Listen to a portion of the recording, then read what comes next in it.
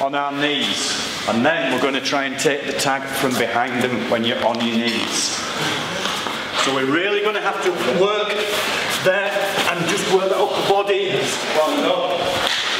Handing off in this case, handing off. Good, we sneak the forwards, going into the natural forward. Grapple bit, which is fine, that's fine.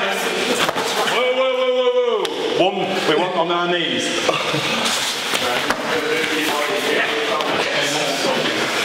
Well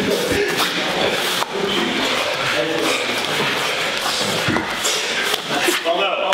Okay, guys, well done. Both teams. Have another breather.